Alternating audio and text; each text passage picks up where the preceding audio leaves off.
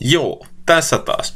Huomasin tuon uutisen siitä, miten Liisa Jaakonsaari oli hieman mm, tullut ääneen nähtävästi, että se puhuu siinä, miten Saksa rekrytoi hoitajia pian Meksikosta asti. Tässä on taustalla se, että kun se ö, kritisoi perussuomalaisten puheenjohtajan halla tota, esittämiä väitteitä se ulkomaisesta halpatyövoimasta, että että se ei pidä paikkansa, että työperäisen maahanmuuton vastustaminen halpatyövoiman kyltin alla on per, persupropagandaa, sanoo Twitterissä ymmärtääkseni, että koska Saksakin rekrytoi hoitajia Meksikosta asti, että, että mm, niin, että tässä kuin, että Saksankin pitäisi löytää työntekijät EU-sisältä kuin Suomesta, mutta sama vaihe Suomessakin, että työperäisen maahanmuuton vastustaminen halpatyövoiman kylti alla on sitten peruspropaganda. Mä en tiedä, tajusko Jaakonsaari, että mitä se niin kuin, tuli sanoneeksi tässä vaiheessa, ja, mutta ehkä hän uskoo tähän oikeasti, koska tässä on siis sellainen tilanne, että Saksa, jonka pitäisi olla EU-moottori ja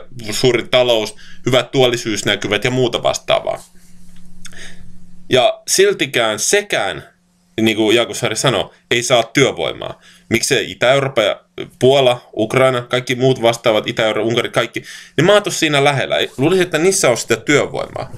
Mutta jostain syystä ne ei halua mennä Saksaan ja sairaanhoitajat ja muita, niitä ei ole. Yleensähän tämä ratkaisisi sillä, niin kuin Suomessakin, palkat nousisi. Mutta Saksallakin on sama ongelma. Si- luultavasti niin kuin Suomessa ihmiset ei halua tehdä sitä työtä, hoitotyötä ja ei, ei pidä sitä palkasta, mitä maksetaan. Suomessakin niin kuin, tämähän on ihan samassa tilanteessa. Ja Jaakonsaari on nähtävästi päättänyt, että Suomen on, kuten aina, seurattava Saksan esimerkkiä jossain vaiheessa tai muita, että otetaan Saksasta neuvoja ja muita tai opastusta tässä vaiheessa, että se tekisi kaiken hyvin en nyt menisi olemaan ihan varma, onko Saksankaan mallit niin hyviä. Esimerkiksi sen vihreän vallankumous, jota se yritti tehdä luopumalla ydinvoimasta, niin johti siihen, että se hyvin paljon tulikin ongelmia siinä, että sen saasteet ja päästöt kasvavaa entisestä, että se oli hölmöveto. Samoin Merkelin ja muita se maahanmuuttopolitiikka aiheutti ongelmia ja on jo nyt aiheuttamassa sen, että se poliittinen paine on kelahtumassa oikealle tai ainakin maahanmuuttovastaiselle puolelle, vaikka kovasti sitä yritetään vaientaa. Samoin ne ongelmat, mitä Saksassa on tullut tietoa.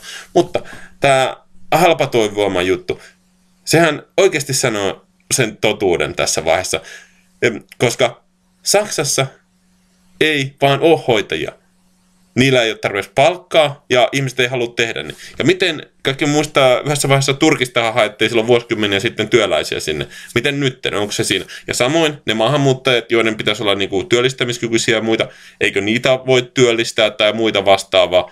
Eli nähtävästi ei. Ja jos Saksakin aikoo täältä hakea, että Meksikosta asti, se ei tältä Euroopan mantereelta pysty hakemaan lähi tai Afrikasta, se pyrkii ottamaan Meksikosta asti. Eikö Meksikko nimittäin tarvitsisi näitä sairaanhoitajia itsekin? Mä muistan, siinäkin on puhetta, miten Meksikossa oli vähän huonot olot joillakin ihmisillä, että tarvittaisiin lisää hoitajia ja muita vanhusten hoitoja ja muita, muihin vastaavia sielläkin.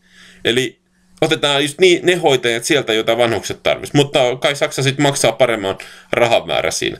Ja siinäkin on sitten se muut, vaikka sä saisitkin ulkomailta, suomalaisethan yritti Filippiineiltä, ei tainnut oikein onnistua sekään. Silloin muista vuosia sitten puhuttiin, sekin meni ihan pipariksi. No ainakaan kovin merkittävästi ei ole kuulunut siitä asiasta enää uudestaan. Ja nytten Lisäksi sitä ajattelitte Meksikosta. Okei, otetaan, että ihmeenkaupalla se onnistus saamaan sieltä Meksikosta joksikin aikaa.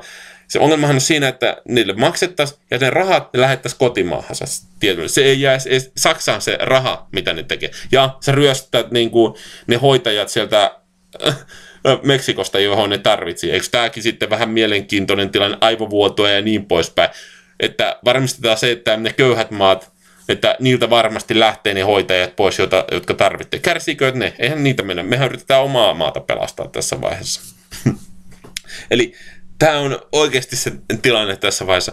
Se totuus on se, että yksinkertaisesti ne palkat ei, kun niillä ei ole varaa maksaa ja ne ei voi korottaa verotusta tai muita, koska rahoja ei tule ja muita talous menisi kohdalle. Ne yritti sitä halpatyövoimaa hakemaan, koska niin kuin sanoin, palkkoja ei voi maksaa sitä, mitä ne ihmiset haluaisi tehdä sitä tai, oikeasti. Ja niin kuin sanoin, ne hakee Meksikosta asti. Kaikki nämä muut maat, jotka olisivat lähempänä, niin kuin, eikö niin kuin lähi ja Afrikka, eikö sieltä löydy sitten osaavaa työvoimaa? Nähtävästi ei. Joten se yrittää ihan toisaalta ma- Atlantin poikki valtameren yri sieltä hakemaan, niin kuin, ja sitten ehdottaa, että Saksan mukaan tehtäisiin sitä.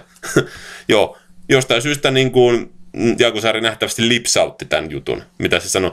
Niin kuin halla saattoi olla siinä, että tämä on vaan, että yritetään halpatyövoimaa tuoda maahan, koska ei haluta maksaa kunnon palkkaa. Sitten se Jaakosaari sanoi, että tässä niin, miten itse, että niin, Saksakin yrkii sitä, kun sekä ei saa hoitajia. Niin, sekä Saksassakaan ei nähtävästi pystytä maksamaan kunnon palkkaa. Mitä se kertoo Saksan tilanteesta? Ja m- miten meidän suomalaisten mukaan pitäisi Saksassa tässä vaiheessa ottaa neuvoa? No, on mukavaa, että poliitikot puhuu, niin, niin kuin sanoin Twitterissä selvästi ja muita. Ainakin nyt tiedämme niiden mielipiteet ja näkemykset. Jokainen voi vetää omat johtopäätöksensä niistä sitten.